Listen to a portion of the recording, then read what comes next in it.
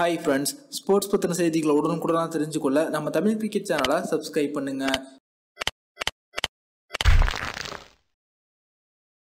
India மற்றும் New Zealand அணிகளுக்கு இடையேயான மூன்று போட்டியில் கொண்ட ஒரு நாள் தொடரை தற்போது இந்திய அணி இழந்திருக்காங்க. இந்த போட்டிக்கு அணியில் சீனியர் வீரர்கள் இல்லாதது இந்திய அணியோட தோல்விக்கு முக்கிய காரணமாக அமைஞ்சிருச்சு பேசியிருக்காங்க. அதில் எந்தெந்த வீரரை குறிப்பிட்டு பேசியிருக்காங்க அப்படின்ற பற்றின முழுமையான விவரத்தை பார்ப்போம். இந்தியா மற்றும் நியூசிலாந்து அணிகளுக்கு இடையேயான ஒரு நாள் மற்றும் டி டுவெண்ட்டி தொடர் தற்போது நடைபெற்றது. இதில் டி டுவெண்ட்டி தொடரை இந்திய அணி கைப்பற்றினாங்க. இதனைத் தொடர்ந்து ஒரு நாள் போட்டியில் பார்த்தீங்கன்னா தற்போது இரண்டு போட்டியில் முடிஞ்சிருக்கும் நிலையில் இந்த இரண்டு போட்டியிலுமே இந்திய அணி தோல்வியை தழுவி தொடரை கையிழந்திருக்காங்க இதற்கு முக்கிய காரணமாக அணியில் சீனியர் வீரர்களான ரோஹித் சர்மா மகேந்தர் சிங் தோனி போன்ற வீரர்கள் இல்லாததான் காரணம் அப்படின்னு சொல்லிட்டு இருக்காங்க. ரோஹித் சர்மா இல்லாததன் காரணத்தினால டாப் ஆர்டர் பேட்ஸ்மேன்கள் இளம் வீரரை வைத்து இந்திய அணி சமாளிக்க முடியல. அதே போல மகேந்திர சிங் தோனி இல்லாததன் காரணத்தினால அணியில பினிஷிங்க்கு ஒரு சரியான வீரர் இல்லை அப்படின்ற ஒரு புகார் எழுந்திருக்கு.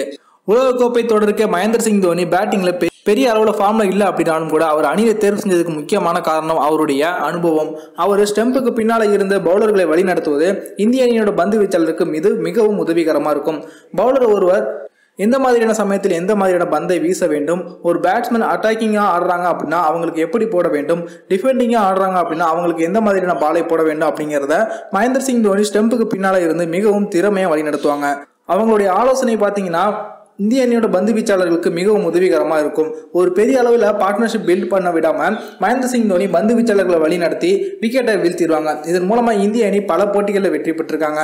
ஆனால் தற்போது பார்த்தீங்கன்னா அவர் இந்திய அணியின் சர்வதேச போட்டிகளில் இருந்து விலகி இருக்காங்க. இது இந்திய அணிக்கு பெரிய பின்னடைவை ஏற்படுத்தியிருக்கு.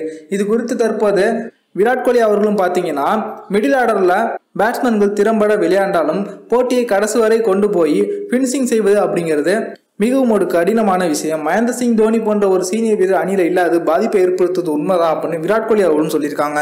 தற்போது இருக்க நிலைமையில பார்த்தீங்கன்னா இந்திய அணியில் அதிகமான இளம் வீரர்கள் தான் இருக்காங்க. இது போல ஒரு அணியை மிகப்பெரிய தொடருக்கு எடுத்துட்டு போனாங்க அப்படின்னா அது கண்டிப்பாக இந்திய அணியோட வெற்றிக்கு பெரிய பாதிப்பை ஏற்படுத்தும். ரோஹித் சர்மா அவர்கள் அணியில் இல்லாதது இந்திய அணியோட டாப் ஆர்டர்லையும் மகேந்திர சிங் தோனி இல்லாதது இந்திய அணியோட மிடில் ஆர்டர்லையும் ஒரு பெரிய பாதிப்பை ஏற்படுத்திருக்கு அப்படிங்கிறத யாராலையுமே மறுக்க முடியாது. இந்தியா டி டுவெண்ட்டி தொடரை கைப்பற்றினாங்க அப்படின்னா அதில் வந்து இந்தியாவோட பேட்டிங் தான் வந்து முக்கிய பங்கு வகிச்சது.